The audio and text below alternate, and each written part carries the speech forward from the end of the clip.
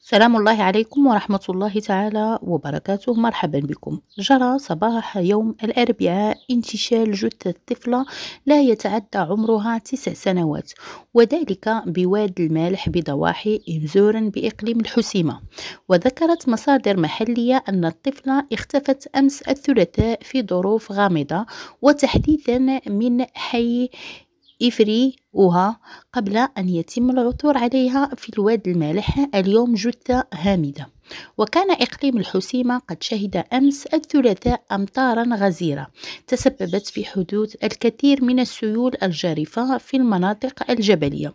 هذا وحلت الشرطة والوقاية المدنية بإمزور إلى علم مكان لانتشال جثة الطفلة الصغيرة مجدولين